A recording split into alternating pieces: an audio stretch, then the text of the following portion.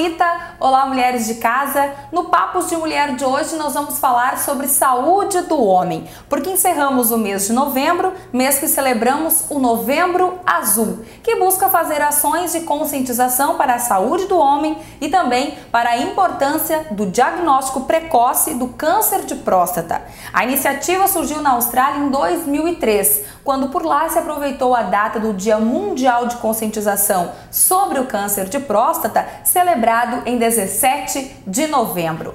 O câncer de próstata é o sexto com maior incidência em homens no mundo e o segundo no Brasil. Fica atrás apenas do câncer de pele. O diagnóstico precoce é muito importante e se dá através do exame de toque e também do exame de sangue para medir os níveis de PSA. E é este exame ou estes exames que causam tanto pavor na ala masculina. Por isso, tantos homens evitam o contato com o médico.